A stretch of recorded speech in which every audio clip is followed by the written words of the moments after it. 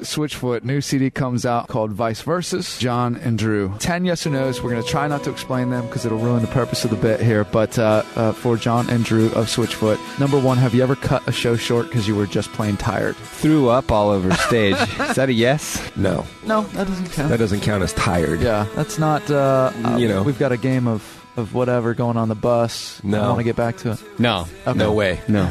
That'd be Number no two, way. Do, do either of you handle the checkbook in your respective homes? I don't. Uh, when are we home? Yeah, I don't. I don't or balance or the on the road? No. No. No. It's more about the checkbook than where you're keeping tabs on the checkbook. No. Yeah. Okay. Uh, have you ever voted for a contestant on American Idol? Phone. Never. No. Okay. Number four. Do you do your own taxes? Uh, some. I do a lot of them. Like Quicken? Oh, you mean me or my wife, or You or your wife? Yeah. you Yeah. Or- okay. So you, so you don't hire out. actually? I do. yeah. Yeah. I mean, you could write off quite a bit being in a band, right? I mean, Yeah. picks. Yeah. I, I, I'm writing this off right now.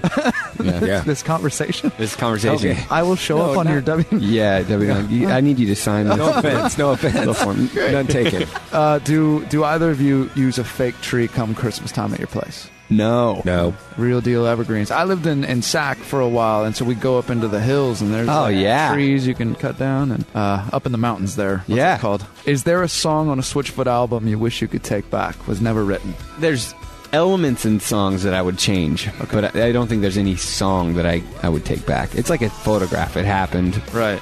You know, you, you wish you weren't wearing bell bottoms, but there they are. Yeah. And uh, when you're as talented as us, Jayar, you wouldn't. Uh, you wouldn't dare take one back. oh, that was me. That wasn't that.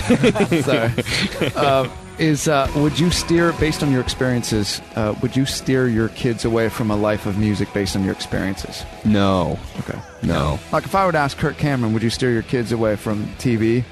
He'd be like, yeah, I would never put them in this spot.